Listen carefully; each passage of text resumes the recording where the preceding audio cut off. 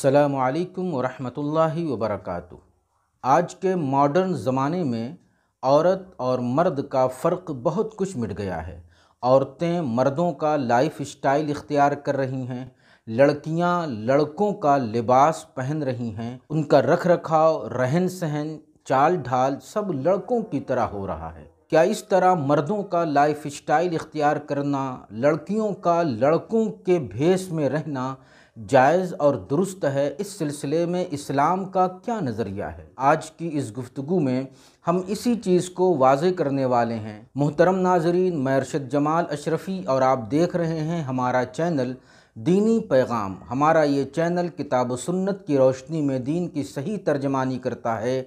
हम दीन का ये पैगाम आप तक पहुंचाते हैं। अब आप इस पैगाम को ज़्यादा से ज़्यादा शेयर करें। और अगर आप इस चैनल पर नए हों तो सब्सक्राइब कर लें और बेल आइकन को भी ज़रूर प्रेस करें ताकि जो भी नई अपडेट हो वह आप तक सबसे पहले पहुँचे। मोहतरम नाजरीन औरतें अगर मर्दों का लाइफ स्टाइल इख्तियार करती हैं, लड़कियाँ अगर लड़कों का भेस बनाती हैं, उनकी तरह रहन सहन, रख रखाव, चाल ढाल बनाती हैं तो इस्लाम में ये बात किस हद तक बुरी और नापसंदीदा है, इसको समझने के लिए अल्लाह के रसूल सल्लल्लाहु अलैहि वसल्लम की चंद हदीसों को अपने सामने रखना होगा। चुनानचे मुस्नद इमाम अहमद की एक हदीस है, जो सही बुखारी और सुनन अबी दाऊद में भी मौजूद है। हज़रत अब्दुल्ला इबन अब्बास रज़ी अल्लाह बयान करते हैं कि अल्लाह ताला ने उन मर्दों पर लानत भेजी है, जो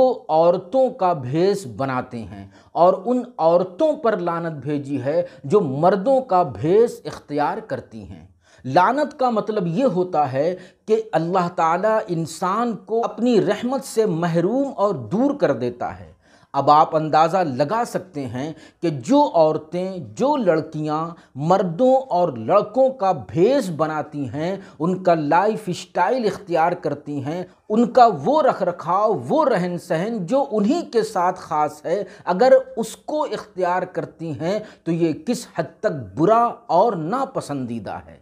इसी तरह मुस्नद इमाम अहमद की एक और हदीस है, जो सुनन अबी दाऊद और सुनन नसई में भी मौजूद है।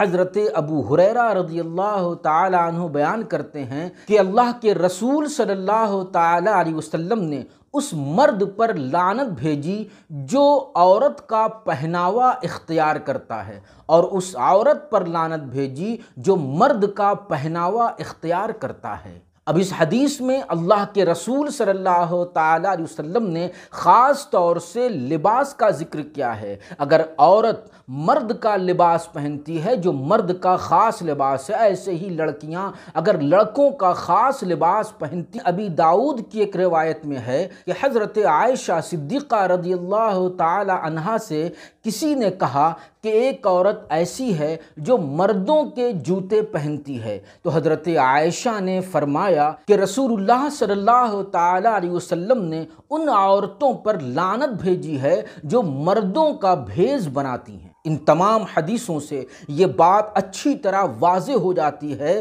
कि अल्लाह के रसूल सल्लल्लाहु अलैहि वसल्लम ने इस बात की कभी इजाज़त नहीं दी है कि औरतें मर्दों का लाइफ स्टाइल इख्तियार करें जो उनका ख़ास लाइफ स्टाइल है। अगर औरतें और लड़कियाँ ऐसा करती हैं तो वो अल्लाह की रहमत से महरूम हो सकती हैं। अल्लाह ताला ने उन पर लानत भेजी है। अल्लाह ताला हमारी तमाम बहनों को इस्लामी तालीमत हिदायत पर अमल करने की तोफ़ी अता फ़रमाए। वसलम वरहमल